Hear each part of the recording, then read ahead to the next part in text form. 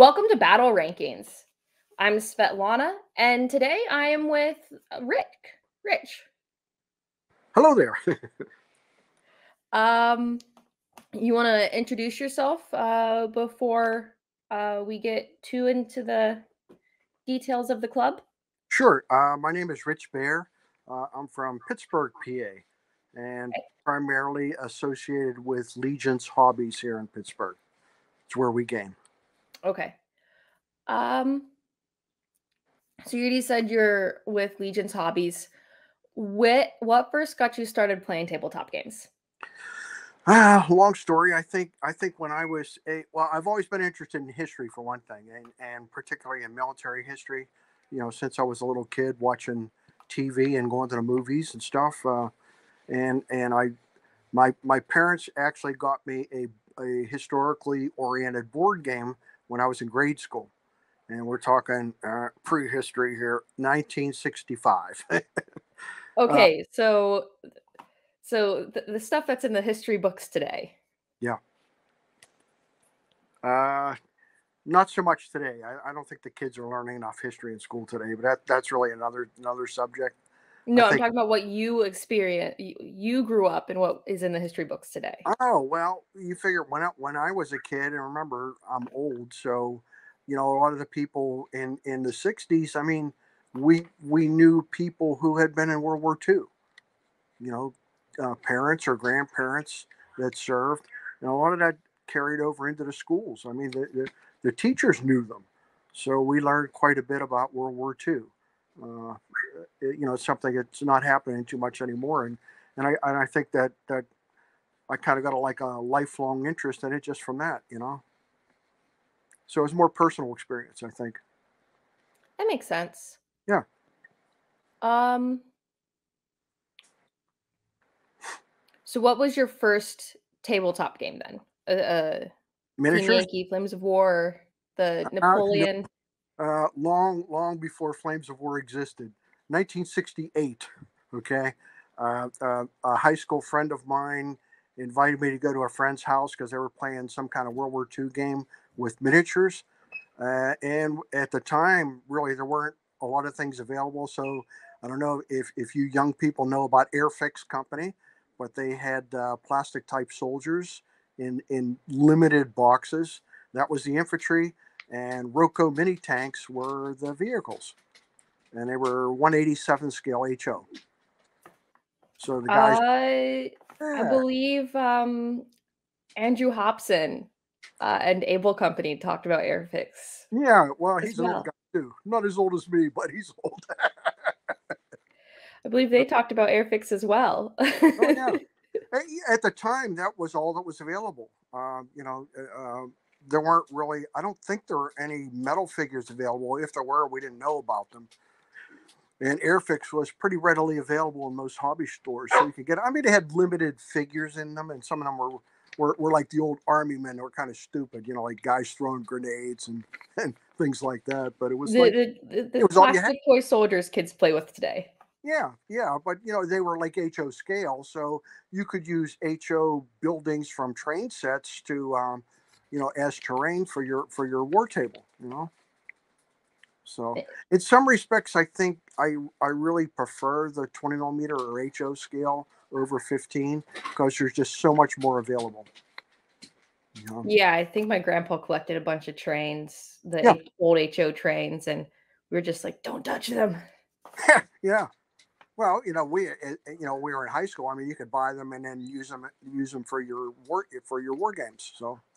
Yeah, I've I've never particularly thought about that. Maybe I'll have to go borrow some trains from my grandpa. yeah, and, and they're they're close enough in scale that, that if you don't bother too much, I mean, they are different from 15 millimeter, but it's not really that apparent on a tabletop, you know. Yeah, it's hard to get everything a hundred percent mm-hmm. the same. Um, so what do you do? Uh, or I know role isn't necessarily the right word for uh, most of the clubs. Um, but there's always one guy that's like the linchpin or and gets everyone together. Um, what yeah, do I, you do with Legions? Okay, I, I kind of I I'm the I'm like I I call myself I'm the grandpa. Okay. Okay. I take care of the kids. Uh, I I you know try and match them up when we go to the to the to legions to play to see that everybody has an opponent. Uh, I manage an email list, and right now our email list for legions is about almost 100 people. Now, not all those, of course, will show up at any given Friday, but most Friday nights when we play, um, and we play every Friday night, so mm-hmm. it, it's a constant thing.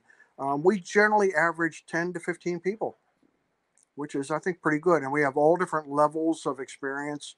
Um, we have uh, high school kids up to old people like me. Uh, and the neatest thing about it is there's a group of about seven of us total. Not not all of us will go up there at the same time, obviously, but we've known each other since the 70s, and we've been wargaming that whole time. Which is, you know, it's amazing. I mean, it's it's older than most of the people are that are playing up there now. You know, which is kind of funny.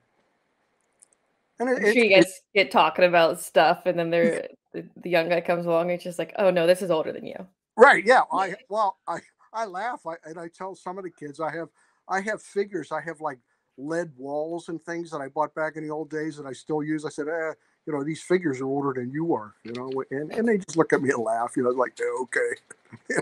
but, but the funny thing about it is we don't really, okay, dog, we don't really have an, any kind of organization at, for Legions. We're not really a club per se. We're just a group of people to get together in a game. You know, there's, there's no structure. We don't have any kind of dues or organization or anything like that. It's just, uh, you know everybody shows up and plays you know and and it is funny because we keep attracting new people even last week uh, an older guy um, i would guess in his 60s and his son uh, came over and his son was playing magic which they also play on friday nights here at, at legions. And he came over and goes yeah i saw you guys over here playing. He goes uh, what is it? So we introduced him and he went over and bought a starter set you know? So now you got two more guys that are coming in. And and and part of my role, I guess, in in the group is um, I'm I'm kind of like teacher, okay. Um, uh, I get the new guys and I run through a game with them and explain the rules as we go along, and and kind of help out the new people, you know. Uh, and often, like I, I, I have so many figures, of course, because I've been doing it for so long. I mean, I loan armies out for people to play. Uh, so we have a really good group up there. Everybody gets along. Uh, you know, and generally we'll play from 5:30 until they kick us out. So, and, that sounds like a good night. It is. It, it's a great night. I mean, you know, they, they send out for pizza. Somebody gets somebody gets uh, stuff from the from you know the hobby store. Uh, everybody. It, it's not just all gaming. I mean, some of the guys go up there and we just socialize. You know, there there are some Fridays I'll go up there and I won't even play a game. I'll just kind of like referee a game or show two new guys, you know, just be at the table to answer questions. So, you know, it, it, it's it's a it's a great situation, and, and it's kind of we've kind of uh, blossomed out because two other hobby stores have opened up in the uh, nearby area recently. Uh, we have Fabricators Forge in Coraopolis, PA, and that's about a half an hour drive from from Legions. Uh, so the guys that live on pretty much on the south side of Pittsburgh it's more convenient for them to go there rather than coming up north to. We're in the north of Pittsburgh at Legions. Yeah, that have, Pittsburgh traffic scares me. Oh yeah, especially like you know on a Friday night. You know, it, it's hard. So so there's a group of the, the guys from the south that meet uh, Friday nights at Fabricators Forge. Um, also, Fabricators Forge is where we host our local tournaments. So, eh, I mean, all the guys in Pittsburgh kind of know each other uh, and and you know it just spread out because of location. We have a new store that opened up a couple months ago called Dragon's Lair, and that's close by the uh, Legion site. Um, they haven't really developed as much yet, but they're trying to. Uh, they have gaming tables there, and we know some groups, some guys uh, that meet there on Wednesdays, and they play other things besides Flames of War. They'll do skirmish games and other historical periods. So uh, they haven't really set up for Flames of War yet, but I think they're looking to. So that's something we may look into. I don't know. And no. uh, kind of just like from the different discussions from the different clubs, uh, I think just having a club that's willing to show up every week is a huge influence on um, store owners just to get them into uh, into Team Yankee or Flames of War, some of these games that are niche interest. Yeah, and, and, you know, Rob Rob knows what I think he knows what kind of asset he has. That that here, I mean, and, and don't get me wrong. I mean, Rob's done really well. He provides the tables. He, uh, he's mm-hmm. terrain is furnished by the hobby store, so um, we don't have to bring anything other than our figures. You know, which is huge compared to a lot of places where you have to bring the stuff in with you and set up a table and everything. You know? Mm, yeah, yeah. There's there's a good few stores. Uh, the store that John plays runs tournaments at. There, the store has terrain, but then he also brings like buildings and some other terrain that the store doesn't necessarily have.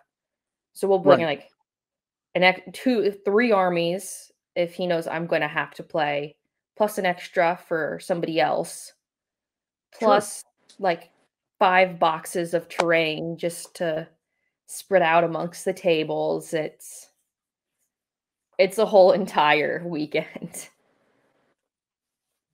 just because of the terrain.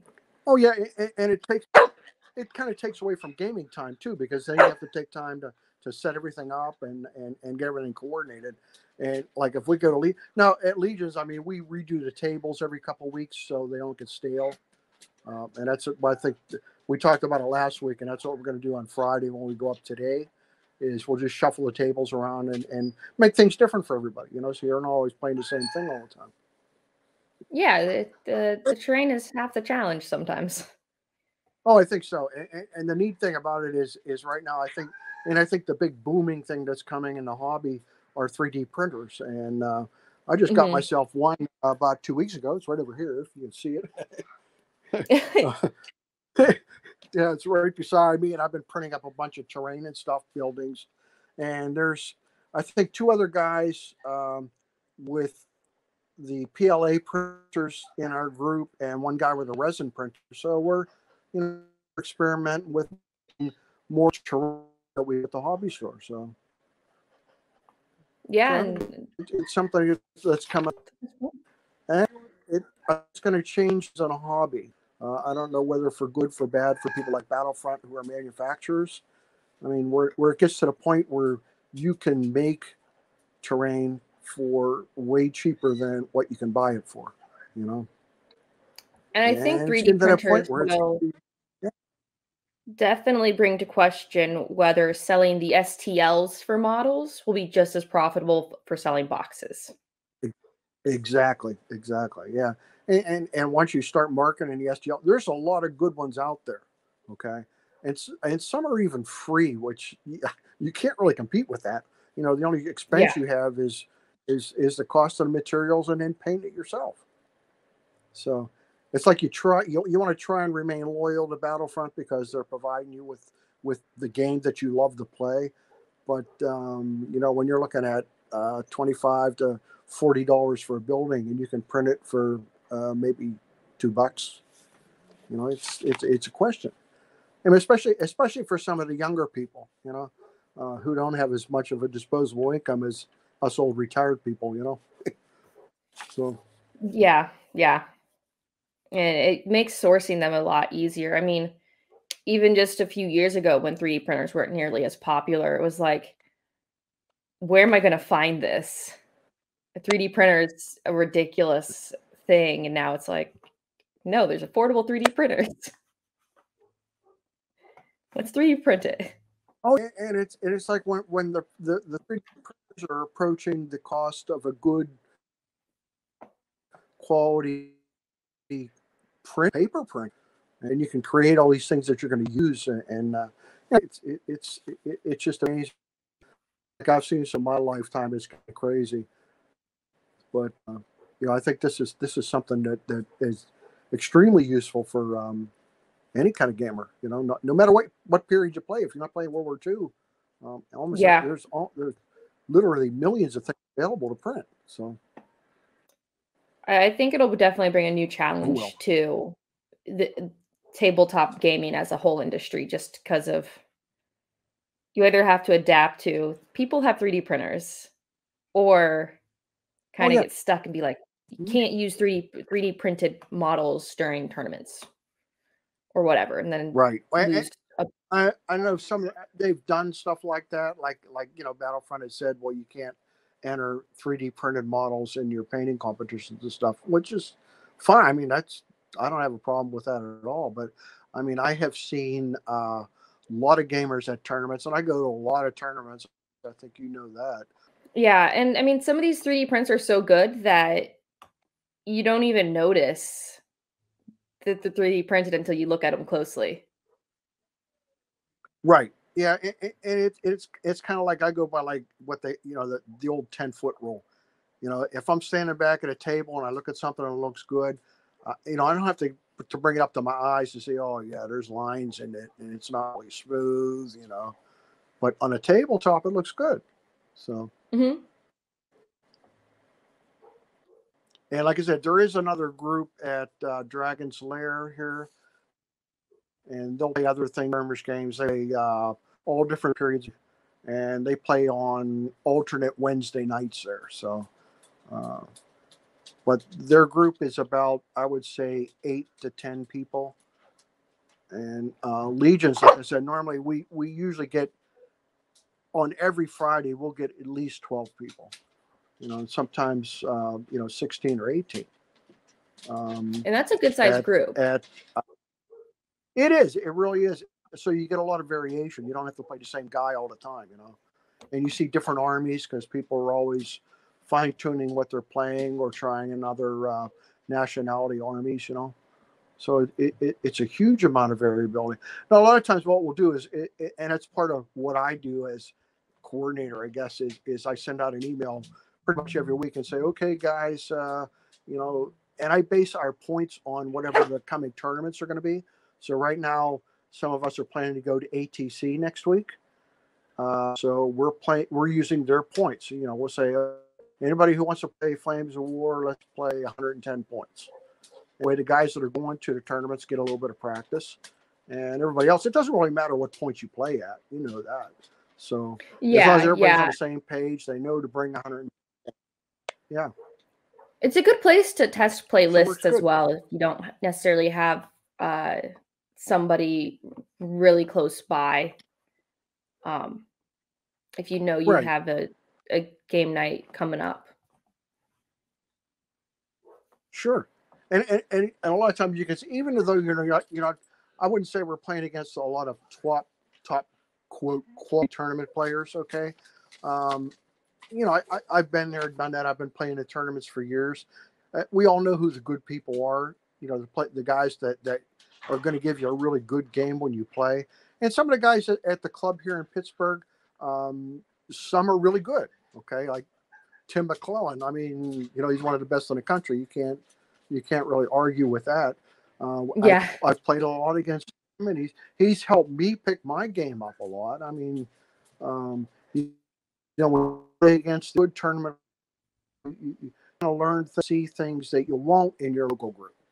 So, and, and I always say, my, my local guys always encourage them. Some of them get the idea, oh, I don't want to be a tournament player, you know, because oh, those guys will, you know, they're they're like really hard and stuff. Like I say, I said no. I said, but most of the tournament players that I play with at tournaments all over the country, and I've been pretty much all over the country because I'm retired. I can do this. It's my job now, you know.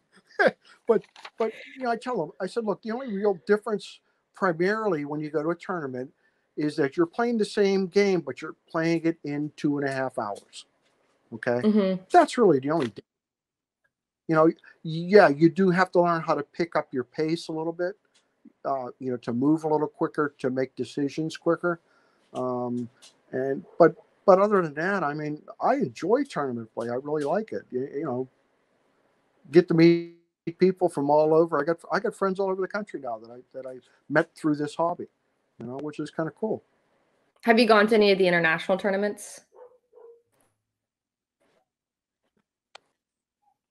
Um, not I no, I have played War Game Europe on my European trips. Um, we did we we we do self guided tours, uh, small groups of about ten people, and I've the coolest thing I did was in 2018. Uh, we went to Arnhem in Holland, and we played with the Dutch wargamers there. We played two Arnhem Flames of War games in Arnhem, which is like you can't get any cooler than that, you know. Yeah, that that sounds a yeah, lot of fun. Played, oh yeah, I've played I've played in Ghent with the War Gamers there in Belgium. I've played in Rome with the Rome War Gamers. Uh, yeah, it's it, it's it, it's neat because they're you know the same rules all over the world. um. So you meet up on Friday nights. Yeah, must be. Uh, and then you also yep. do tournaments. Do you do any other get group events? Uh, we do, we do some large events. Um, a couple couple of months ago, uh, we did the Peiper's Charge scenario that's in the uh, German Bulge book. So we laid out the three tables end to end, and, and we played it out over Saturday, and we played we played for most of the day. Um, currently, need to do deep battle. We don't know exactly yet when we're going to do it, but that that's our our next big project for the group um, it, it, it's kind of cool. The guys, like normally we do one-on-one gaming, just like you know, but do enjoy big battles occasionally. So we try and work them into our schedule. Um, normally we do a Thanksgiving event, which is something special where it's, it's like single tank on tank, and you have. Uh, I think our last one we had ten people playing. It's kind of we do we do other things, yeah. Uh, and all every year, of course, we get in with the uh, Toys for Tots. We usually run an event for that. So, uh, you know, sometimes it's a special event, sometimes it's just a tournament. But um, yeah, we do other things. And some of the guys are interested in playing other things. You know, it's like uh, a couple weeks ago, I took the World War One airplanes out for a spin, and we played uh, Wings of Warfare. And the guy said, you know, it's something that most of the people had never seen before. So it's just that um, there's so much available out there if you want to you know, play with miniatures there, there are tons of things to do, you know. I mean, personally, I've been involved in almost every period. I have, I played Ancients, I played Napoleonics, uh, you name it. I probably played, you know, at one time or another. But I like version four. I think it plays a lot better. Um, although as as a real historical gamer, and I, I like the hit, I think version four is sometimes going into areas where I don't like with uh, uh, I like version three list building much better than version four, for example. I think it was much more historical. Uh, version four, yeah, it seems that you can get a lot of, you know, yeah, it's just it's just not quite as historical for me. But yeah, if you game. want to play for accuracy, like there's there's accuracy, but then there's also if you just want to play, and then version four kind of like teeters on that line of mm-hmm. how historically accurate can you get versus is is it built right. for those who just want to throw something together that they think is cool? Oh well okay well you were you were at our last tournament in pittsburgh when we played mid-war and you saw the mid-war monsters and yes. you had some too so you know you're guilty yeah. you know, kind of like you know, okay, I you know I look at it from the historical aspect, and I look at it and say, I say why? You know, okay, it was a fantasy tournament. Um, okay, Ben Ben won because he had unkillable KVs. you know, I'm glad I didn't have to fight him. uh, but but you know stuff like that, it, it, like it's okay. Uh, you know, it's look at stuff and they, but they don't know that this stuff, these things were never produced or never fought in combat. You know, they just think it's part. It, it's real, and, and to me that that kind of like bothers me because, like I said, I like the history. So, but, it's definitely something where know, like eh, go with whatever you use situation games to be like, no, you can't bring X Y Z. You only these unit constraints or whatever kind of like what they do with um masters uh-huh. Yeah, and, and and I I just read a review online of the new British book that's coming out, um, and and they're using RAM formation tanks. I mean, they never had them, so yeah, why like, would you include them in, sound... a, in a in a book? I um, I think yeah. the I think it really wh- where do you find a good place for these models that weren't actually in production? Do you put it in like Team Yankee, where it kind of goes into like the Cold War? What if World War Three happens, where there might Yeah. be experimental tanks that were kind of in production, but also not put out on the field, where it's like a what if situation, or do you want to keep it, uh, or to bring those models in, or do you want to put it in the Flames of War, where it's just like, well, they produced this model during World War II, so it could have been played during World War II, so we'll play it. You know, what? here here's a funny thing that- eh, that I look at. You know, when when I the group, I said there's different kind of game at Legions, and I sure everywhere. Okay, you got the people who you made up thing, you know, and, and I'll talk to even people that have been playing the game for years, and they know really nothing about the history. You know, they don't know like how many of these tanks were produced, where they were used, and things like that. It just, it just. But some people learn, and, and the funny thing is, you know, we, you know, I teach the history sometimes up at Legions, and and the kids will look at me and I say, hey, look it up, man. There's always more information out there you can find, you know.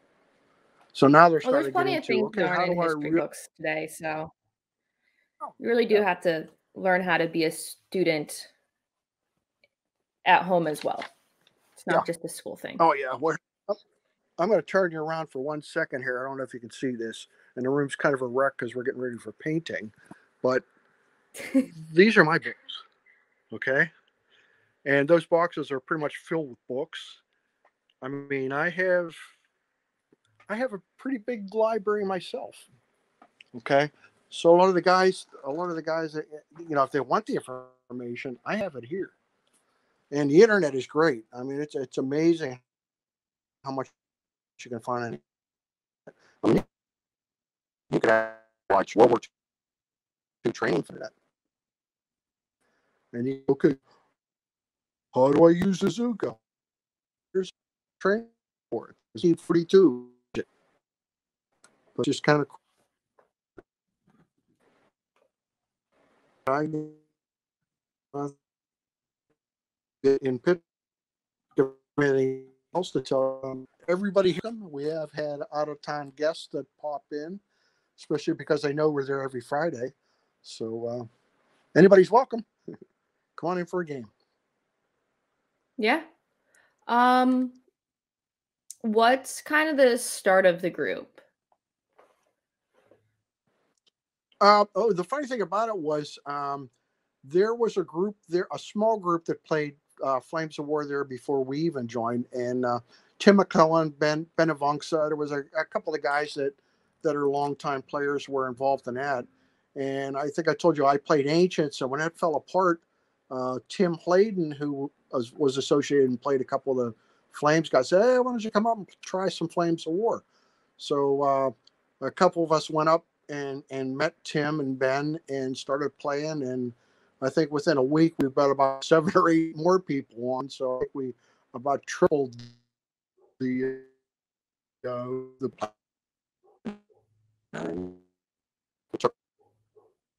So Uh and so you're in the uh, Pittsburgh Tim, area. toddler with his grandfather. So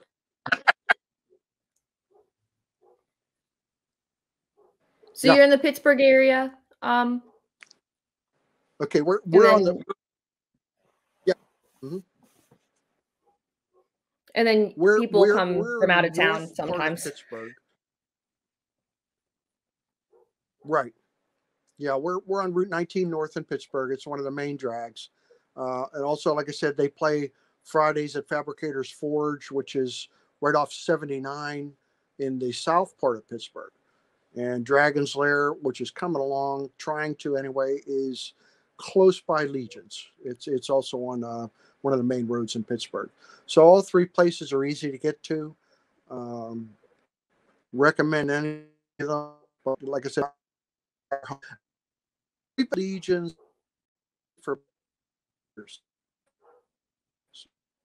Spe-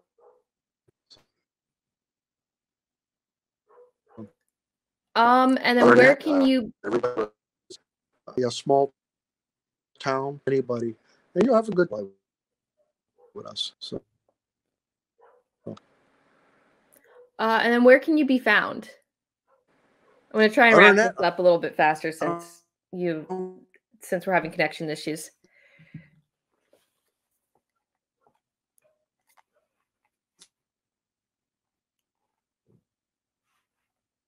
think I have much else. Oh, Where Email can you be? for people.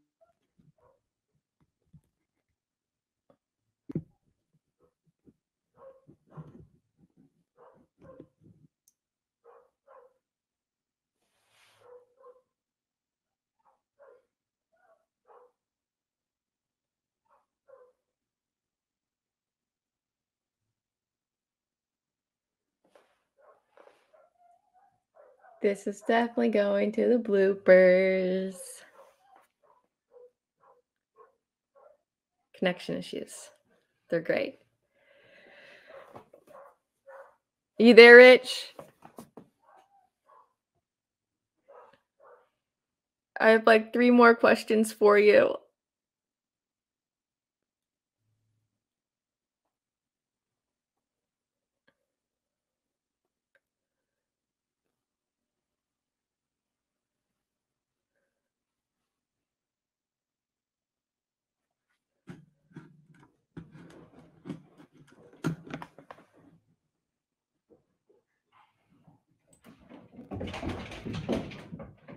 Are you there?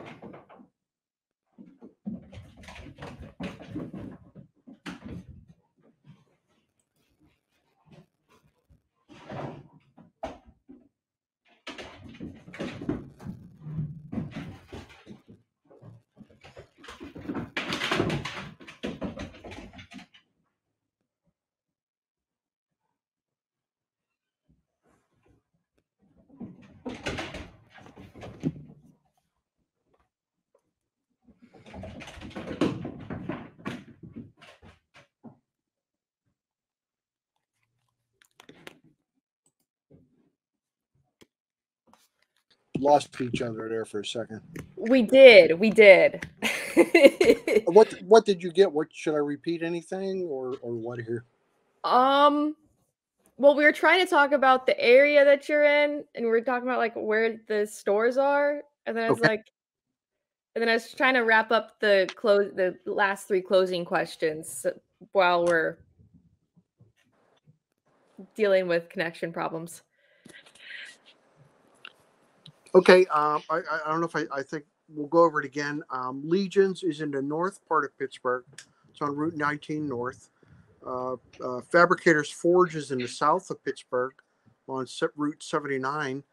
And uh, Dragon's Lair is on Babcock Boulevard, which is um, real. It's close by Legions, so it's you know more on the north side of, of Pittsburgh.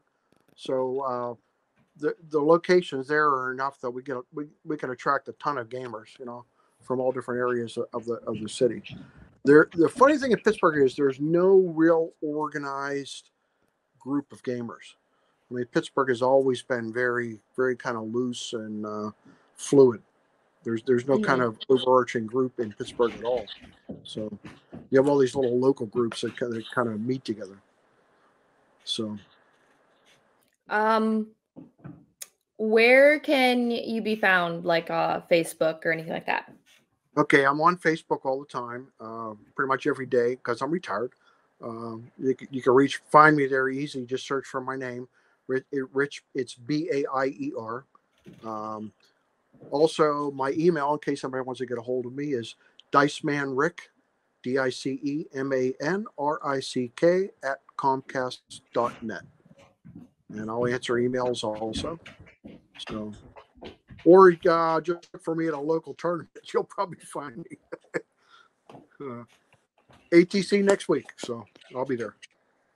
Um and then how do you recommend people find a gaming group? Uh, I think the easiest, the, the first thing I would do is go to a local hobby store, um, see if they sell the stuff. If they do, generally they can tell you who's buying it. Um, another way might be just to go on to the uh, Flames of War uh, Facebook site and ask questions. Say, hey, is anybody playing Pittsburgh? You know, you might get an answer. Um, other than that, I really can't. Uh, you know, the big thing, or local tournaments, even. You know, if you're in an area that has a tournament, although some people don't know about tournaments, which is the hard part. I think we've probably picked up more people uh, through the hobby store than them from anything. Mm. You know, people just wandering in saying, "Hey, that looks fun. What are you guys doing?" You know, so and then we hook them. hook for life, you know. Here we have a demo game. I am so sorry. The dog is back inside the house, and it sounds like yeah. the ceiling is about to fall in. uh-huh. Okay. Um, any closing thoughts? I apologize to any listeners or viewers about the chaos that is connection service. Right. Yeah. And, and I think even on the best podcast, I mean, it, it happens. I see it. So it's like, what are you going to do? You know, hey, it could be worse. We could be in Florida underwater. We could be. And if nothing else. I'll just edit out anything that sounds like remotely robotic and it'd be like, nobody okay. knows what's happening here, anyways. Sounds good. Right, well, it was good good talking to you and seeing you again. Uh, are, are you guys going to ATC? Um, I think I work. I think we work. I don't know if John's going, but I think I work. Uh huh. See, another thing I don't have to worry about anymore. So, uh, what can I say? Wait, but is that thanks. the team tournament in uh His uh, Fall In Fallen has a team tournament. Yes. Oh, John might be going then. I don't. Yeah. No, that's Fall In, not ATC. Yeah, ATC is singles. They're doing um, they're doing Flames of War and Team Yankee different days. Okay, I'm not sure. I'm not sure if we have plans to go or not. John usually t- spurs that on me last moment. Mm-hmm. Oh, and, and, and, I have to mention that that John Meyer, your your your lovely husband, is is kind of like an honorary Pittsburgh guy. So he's been here so many times. So it, yeah, it, it's kind of like it's. We cool. travel we, quite a bit. We travel. Yes, I will be going to ATC. And for those who don't know what ATC means, that's Advance the Colors. It's a convention being held in Springfield, Ohio this weekend.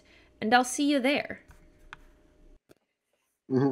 Oh, and, and, and I have to mention that that John Meyer, your your your lovely husband, is is kind of like an honorary Pittsburgh guy. So he's been here so many times. So it, yeah, it, it's kind of like it's. We cool. travel we, quite a bit. We travel yeah, quite a bit to go to tournaments. We're just in a really yep. weird area that doesn't have a sing uh, that doesn't actually hold tournaments. We're just two out two three hours away from any place that does.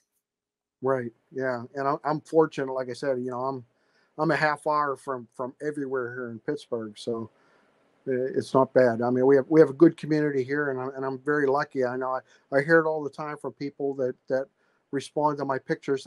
I put pictures up almost every Friday of our games. So if mm-hmm. anybody wants to get a you know, you know what gaming is like in Pittsburgh, just look at uh, at the main Flames of War um, Facebook site, and they'll see my pictures almost every Friday. So, you know, it's a good group. I'm very lucky, and I'm happy about. So, other than that, can't yeah. say much else. So.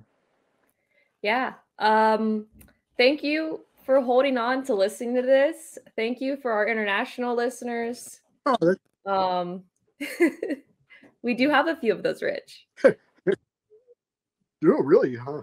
Yeah. Yeah. Well, I may um, I may get some. Hey, you know, I, I know a couple of people overseas too, so you know. We do have a few international listeners. Listeners, thank you for watching. Thank you for listening. Cool. Um, like, yeah, subscribe, it's, comment, it's share. Um, hopefully, you'll never know that we had connection issues during this. All right. Probably the bloopers. we'll see. Yeah. Okay. Thanks, Lana. Yep. Thank you. Hit all the fun buttons. Right.